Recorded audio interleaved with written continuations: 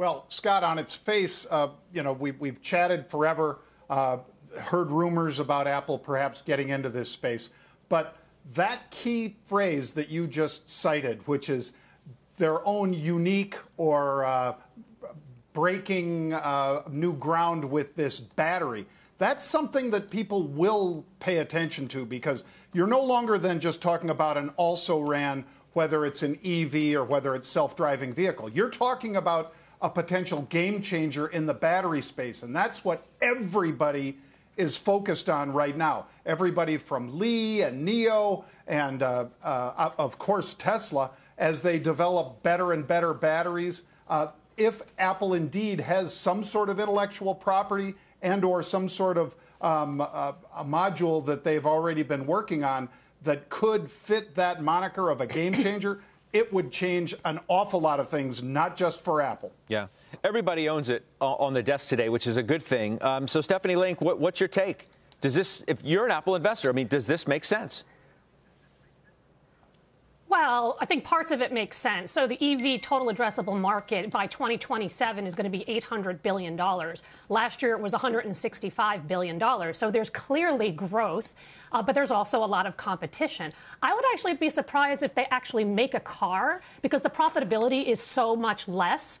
But I think what they're maybe more after is really enhancing the driving experience, using hardware, using software, using services. And, you know, they can do this because they have just brought in five core technologies in house. So they brought in processing, they brought, they brought in batteries, they brought in, brought in camera, also sensors and displays. So they can package it up and then sell sell it perhaps or partner up with an OE. But that's the way I would look at it, and I would think that would be better for profitability. And as a shareholder, that's what I'm interested in. Josh, you have a provocative thought here on what Apple should do. I'll let you say what you told our producers earlier about who you think should make this car. They should just buy Ford. I don't understand. Like, why wouldn't you? What Ford is a shell of its former self. They don't even make cars anymore. All they make is pickup trucks, which are a great business for them, and SUVs.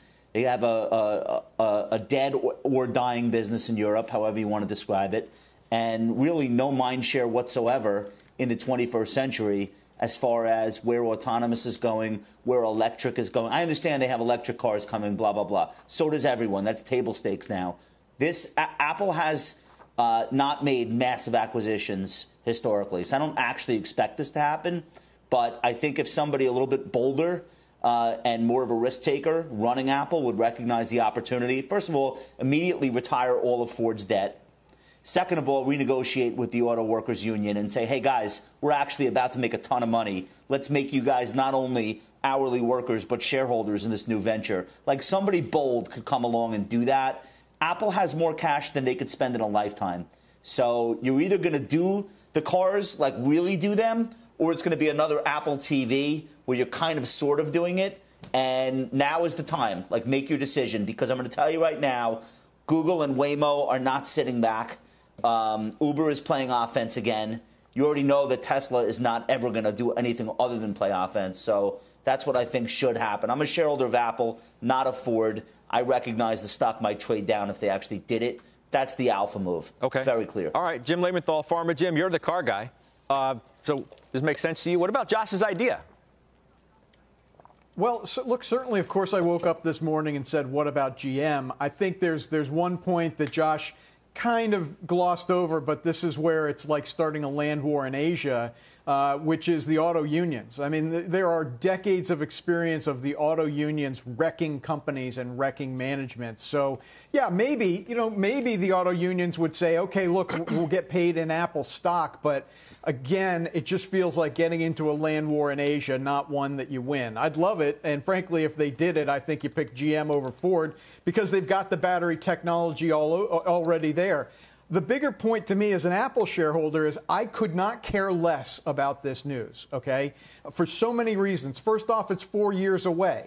Um, that means there's a 10 year head start for guys like Elon Musk. I mean, the, the fields are already going to be overplowed by the so time what? they come to market. So what? Apple didn't invent the phone. So they what? just arguably made it better than the ones who did. Mm-hmm. Okay. Yep. Yeah, I mean, maybe that's going to happen. You think Elon Musk isn't doing the same thing? You think Waymo isn't doing the same thing? You think NIO isn't doing the same thing? I mean, the list goes on and on and on. This is the this Apple is kind MO, of, though, when right? you say that, it turns into wait, wait, it's wait. the Apple no, MO, yeah, right? Okay, Don't do it first, but it's just the do it same better. thing. What you're saying. Let me finish, Scott. Okay, this is the same thing as what's happened over the last few years. Is anytime somebody says Amazon is coming into an industry, all of a sudden that industry gets sold off and falls apart. The truth of the matter is, if you look at Amazon and things like getting into healthcare, they really haven't done anything. Okay, just because Apple or Amazon comes into an industry doesn't mean that it's dead. Particularly this industry where there are already so many disruptors whether it's Waymo, whether it's Tesla, whether it's NIO. I mean, the list goes on and on.